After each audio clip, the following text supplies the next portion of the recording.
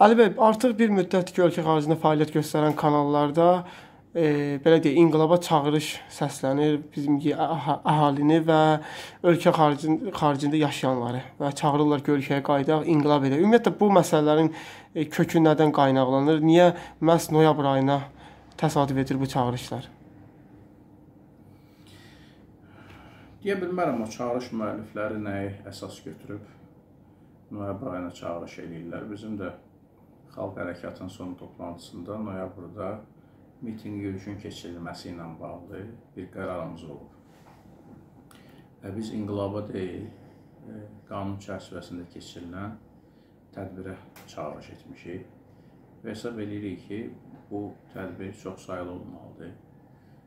Tələbləri, şüarları qanun çərçivəsində olmalıdır və Azərbaycan cəmiyyətinin narahatlıqlarını ifadə etməlidir. Biz ölkədə qanundan kənar fəaliyyəti alqışlamırıq. Yanlış hesab edirik və ölkə üçün ziyanlı sayırıq.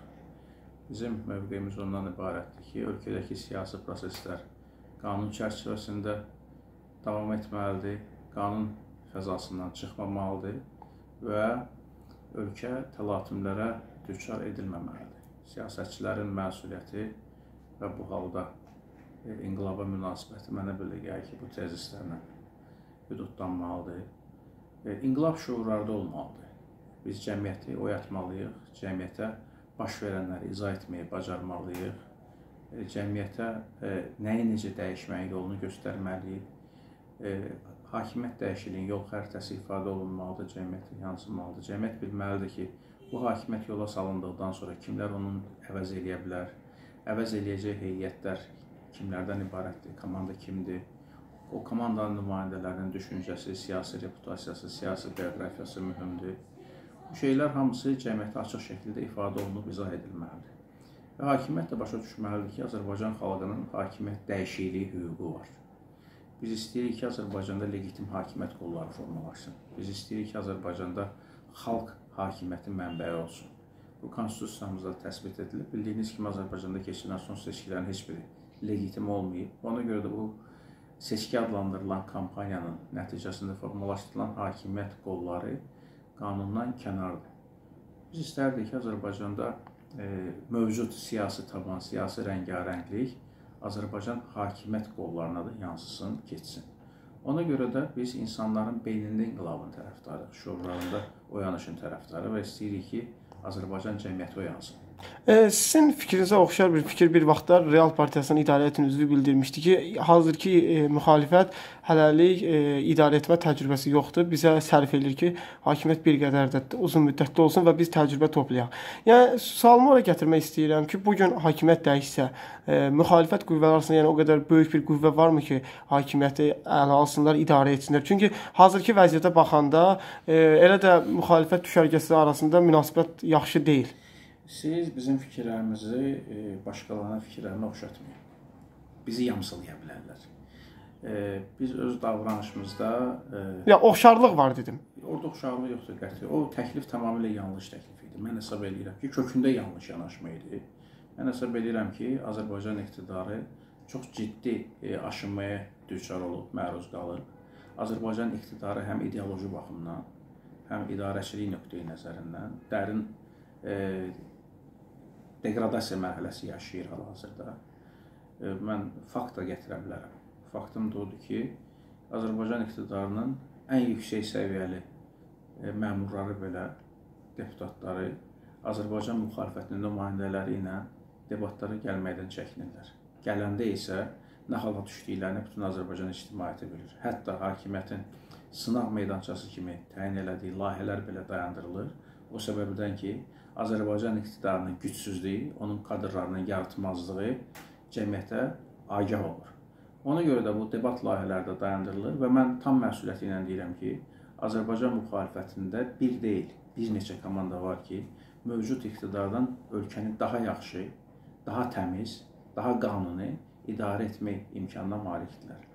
Ona görə də Azərbaycan iqtidarı əvəz edilməzdir və yaxud Azərbaycan müxalifətində bu hakimiyyəti dəyişəcək komanda yoxdur kimi şüarlar yanlışdır.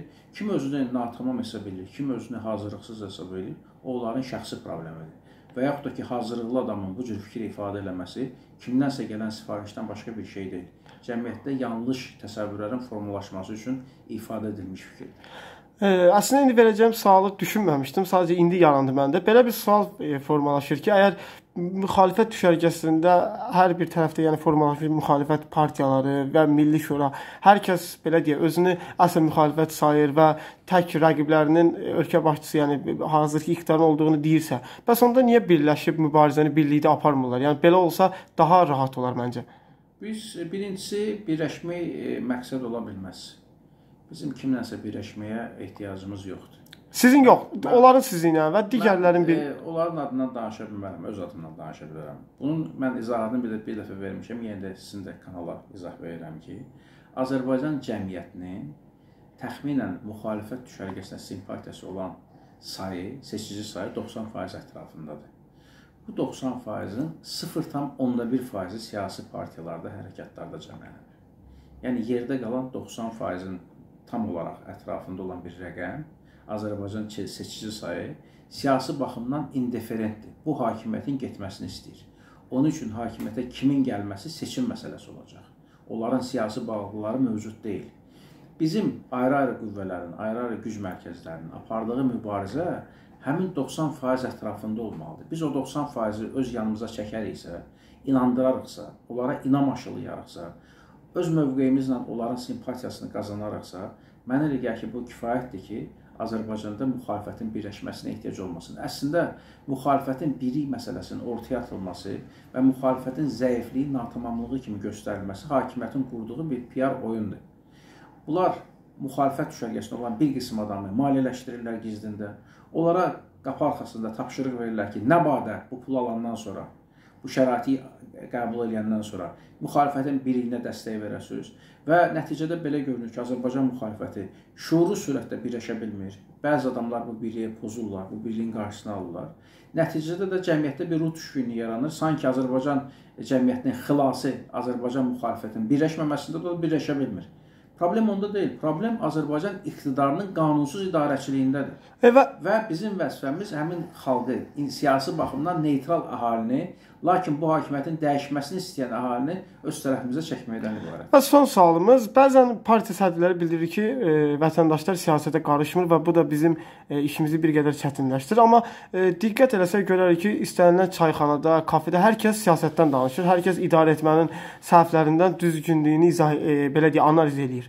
E, sizcə bəs problemin kökü nədədir? Burada həqiqət ortadadır. Mən sizə açığını deyim. Son yarım ildə Azərbaycan cəmiyyəti xeyli fəallaşıb xeyli fəallaşıb. Mən həmin dediyim debat kampaniyalarında, e, internet televiziyalar vasitəsilə verdiyim müsahibələrdə ictimaiyyətin dəstəyini bir mənalı şəkildə öz üzərimdə hiss edirəm. Hesab edirəm ki, Azərbaycan cəmiyyəti yarım il bundan qabaqki cəmiyyət deyil, cəmiyyət oyanıb. Amma sona qədər oyanmasından da danışmaq hələ tezdir. Cəmiyyətdə hələlik xof var. Cəmiyyət əvvəlkindən e, xeyli oyanıq olsa da, xeyli ayıq olsa da, Lakin e, hələlik açıq e, etiraz ifadə etmək gücündə deyil. Mən cəmiyyətin əksər hissəsindəyəm. Amma mən sosial şəbəkələrdə, mən insanlar arasında, mən siyasi fəaliyyətimdə bu vaxta qədər görmədiyim fəallığa şahidlik edirəm. Ona görə də bu deyilənlərin içərisində həqiqət ortadadır. Mən əminəm ki, proseslər bu cür davam eləyəcək müxalifətin imkanları artacaq, hakimiyyətin mətbuat üzərində monopoliyasına son verilib, bu monopoliya son verilmə dərinləşəcək və bu mətbuat e, təbliğatı vasitəsilə, TV, TV təbliğatı vasitəsilə Azərbaycan müxalifəti bu iqtidarı sona qədər neytrallaşdıracaq. İdeoloji baxımdan iflasa uğradacaq və cəmiyyət dəyişikliyə hazır olduğunu ifadə edəcək. Biz bunun şahidi olacağıq. Hələ tələsmək lazım deyil. Bizim müxalif olaraq e, cəmiyyəti maarifləndirmək kimi çox böyük vəzifəmiz var çox miqyaslı işimiz var. Çünki 30 il ərzində bu millətin beyni yuyulub, bu milləti sıradan çıxartmağa çalışıblar, bu milləti sındırmağa çalışıblar. Şükürlər olsun Allah ki, millət sınmayıb, millət ayaqdadır. Son keşişçi dağ hadisəsi də göstərdi ki, ən azı mən öz televiziya verilişlərindən görürəm ki, cəmiyyət biz deyənləri 100% dəstəkləyir. Bir-iki axsaq olmalıdır, onları heç nəzərə almarıq, almarıqsa, həm cəmiyyətin verdiyi fəal reaksiya, həm cəmiyyətin verdiyi şərhlər, həm cəmiyyətin göstərdiyi münasibət bir mənalı surətdə Azərbaycan müxalifətinin yanında olduğunu göstərir.